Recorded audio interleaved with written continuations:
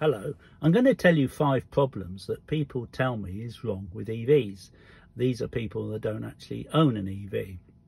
I've driven all my life, that's a long time, and if anyone should be stuck in the past, it's me. I've driven a Tesla for the last year and I'll give you an honest appraisal of how I found it. Number one, the problem with EVs is that people tell me that you can refuel a car in a couple of minutes and it takes 15 times longer to get a half decent charge in an EV. Well, I charge at home.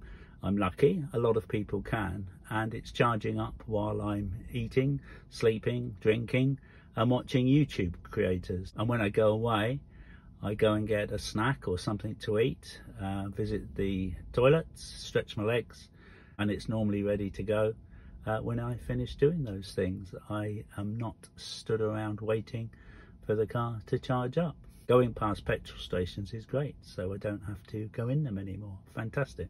Yes I know not everyone can charge at home but the fast chargers are very very fast. And uh, lots of people have public chargers near where they live or where they work.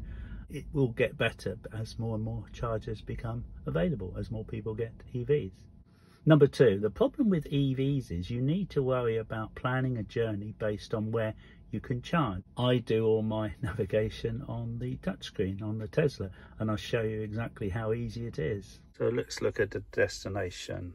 Let's try uh, Leeds.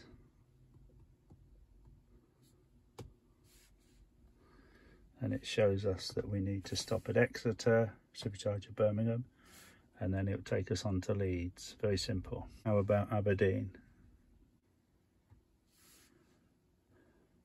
Few more stops, it's a lot further and we're told where all the stops are.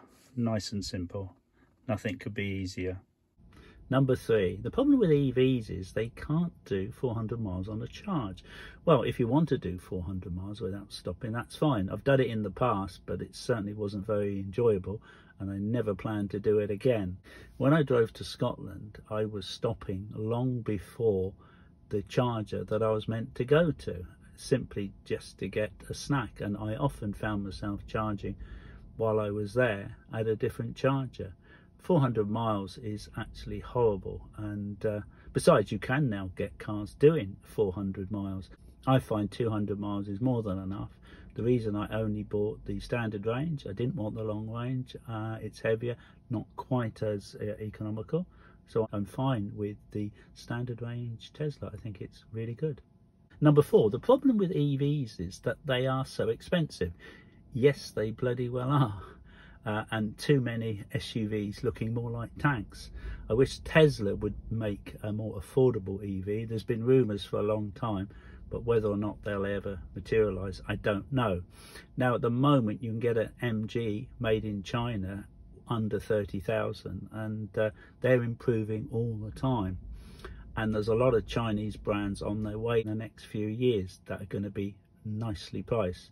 Number five, the problem with EVs is petrol is cheaper than electricity.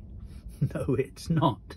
Charging at home is under a quarter of the price of gas. It used to be a tenth the price of charging at the pumps, but now it's still cheaper than going to the petrol pumps. I've done the figures and I've worked it all out.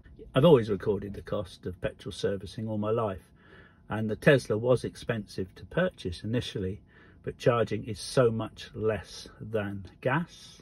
The first year running cost is much lower also. I've had no servicing costs.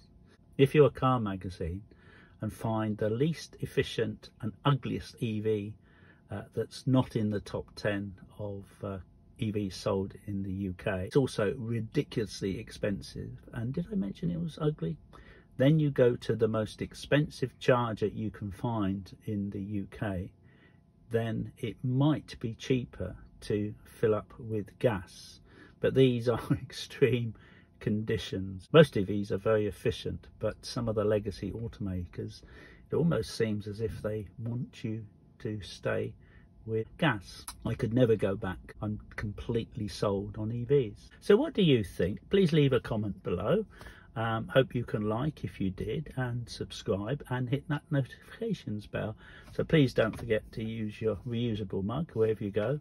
Thanks for watching and uh, see you next time. Bye.